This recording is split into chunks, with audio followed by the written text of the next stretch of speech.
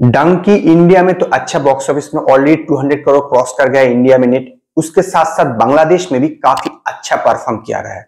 No doubt एक ही दिन में आपका इंडिया और बांग्लादेश में रिलीज़ होता है इंडिया में सिर्फ़ आपका गुरुवार को रिलीज़ होता है बांग्लादेश में एक दिन बाद रिलीज़ हुआ था। तो ऑलरेडी बांग्लादेश में 14 डेज़ कंप्लीट किया है। कल तक और कल तक बहुत ही अच्छा खासा कलेक्शन किया नो डाउट अच्छा खासा कलेक्शन बांग्लादेशी रुपीज़ में अराउंड आपका साढ़े छह करोड़ के आसपास 14 डेज़ के बाद कलेक्शन किया डंकी, जो काफ़ी अच्छा अमाउंट है। इसके पहले शाहरुख खान का तीन मूवी ऑलरेडी डंकी को लेकर तीन मूवी बांग्लादेश में रिलीज़ हुआ है। आपका पठान, जवान और आपका डंकी। और जवान ने सबसे बेहतरीन कलेक्शन किया है, जो आज तक किसी भी इंडियन फ़िल्म ने किया नहीं। अराउंड आपका 22 करोड़ का कलेक्शन किया बांग्लादेशी मुद्रा में, जो काफ़ी अच्छा है। और मल्टीप्लेक्स में अराउंड आपका साढ़े साढ़े सत्रह करोड़ के आसपास कलेक्शन किया था।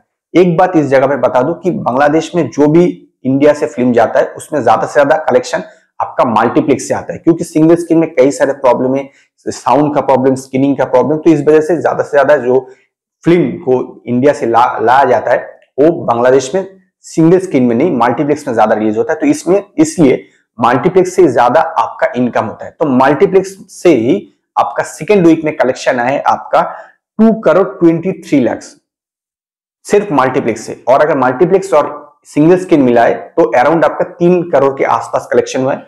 और फ़र्स्ट वीक में ये कलेक्शन था साढ़े तीन करोड़। टोटल है आपका साढ़े छह करोड़।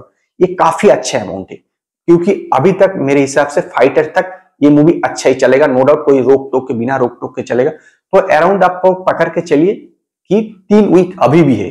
तीन वीक में ये मूवी कम से कम, ये मूवी कम से कम दस करोड़ और भी कलेक्शन कर लेगा। थ्री वीक में। क्योंकि अब तो काफ़ी डाउनफॉल आ चुका है, लेकिन फिर भी थ्री वीक में ये मूवी अराउंड दस करोड़ कलेक्शन कर लेगा। तो दस करोड़ और ये साढ़े छह करोड़, अब पकड़ के चलिए फिफ्टीन टू सिक्सटीन करोड़ ये मूवी कलेक्शन कर लेगा लाइफ टाइम में।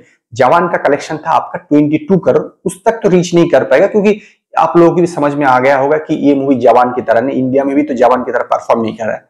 तो ये मूवी अराउंड आपका 15 टू 16 करोड़ कलेक्शन कर लेगा। तो जो सेकेंड वीक के फ्राइडे था फ़र्स्ट फ्राइडे में वो बांग्लादेश के मल्टीप्लेक्स से कितना कलेक्शन किया ये बताओ आपको।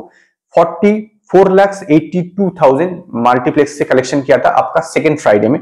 सेकेंड सैटरडे में कलेक्शन किया था forty four lakhs one thousand फिर संडे में कलेक्शन किया था thirty nine lakh sixty five thousand आपका मंडे में कलेक्शन किया था twenty eight lakhs thirteen thousand Tuesday में कलेक्शन किया था twenty two lakhs thirty four thousand Wednesday में कलेक्शन किया था twenty one lakh seventy three thousand और कल का कलेक्शन किया था मल्टीप्लेक्स से, आपका twenty two lakhs forty seven thousand तो काफ़ी अच्छा है नो डाउट काफ़ी अच्छा है। आप देखेंगे कि एक, कह सकते हैं कि एवरेज एक एवरेज जो बॉक्स ऑफ़िस कलेक्शन है, वो बरकरार रह रहा है। ये काफ़ी अच्छा है।